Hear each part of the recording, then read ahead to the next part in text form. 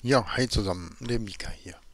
Ähm, wie ihr von meinen alten Videos wisst, habe ich ähm, starke Probleme damit, die 4K-Auflösung zu rendern, beziehungsweise ähm, ich habe halt einen 34 Zoll 21 zu 9 Monitor und ähm, mit meinem alten Schnittprogramm war das so, dass ich ständig diesen schwarzen Rahmen um das Bild hatte und der das halt so weit runter skaliert hat, ja, dass das Bild halt sehr klein war und ähm, ja, ich habe das äh, mit sehr vielen Einstellungen ausprobiert und getestet.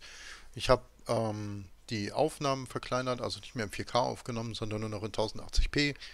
Habe in dem Programm eingestellt, er soll rendern auf 1080p. Ich habe mein ähm, das Spiel, das Programm, den Monitor, ich habe alles runtergerechnet auf 1080p.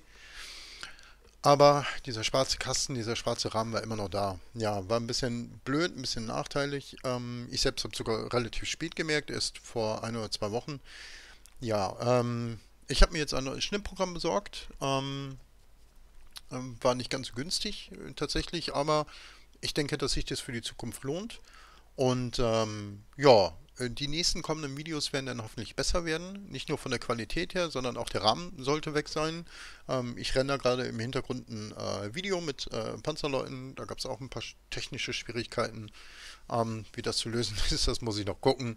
Ähm, ich habe zwischendurch das Problem, obwohl ich keine Einstellung ändere, absolut gar nichts, ähm, kann es passieren, dass er entweder das, äh, die Discord nicht mit aufnimmt oder den Teamspeak in diesem Fall nicht mit aufnimmt.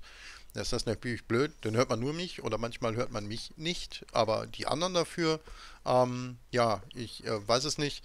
Ein Kollege aus der IR9 hat mir gesagt, ich soll mal alle anderen ähm, äh, Einstellungen rausschmeißen, äh, löschen einfach, also alle anderen Audioquellen ähm, einfach rauskicken, so dass die Wahl nur noch auf dem bleibt, was ist, aber ich weiß nicht, wie das denn ähm, für mich privat so, ne? aber das er jetzt, sag mal, so dahingestellt. Ja, wie dem auch sei. In Zukunft ist, glaube ich, ein bisschen besser und schöner und hübscher. Und ähm, ich hoffe, ihr habt an den nächsten Videos Spaß mit dem äh, neuen Schnittprogramm. Ähm, kann man auch noch lustige Sachen machen. Ich muss mal gucken. Da gibt es ein paar schöne Filter und ein paar schöne Übergänge und sowas. Ich muss mich da jetzt allerdings noch ein paar Tage reinfuchsen. Aber es wird schon klappen. Ja, ansonsten, ich wünsche euch noch viel Spaß bei mir auf dem Kanal und äh, ja, ich denke mal, man sieht sich auf dem Schlachtfeld oder halt hier bei YouTube. Ich danke euch, euer Mika.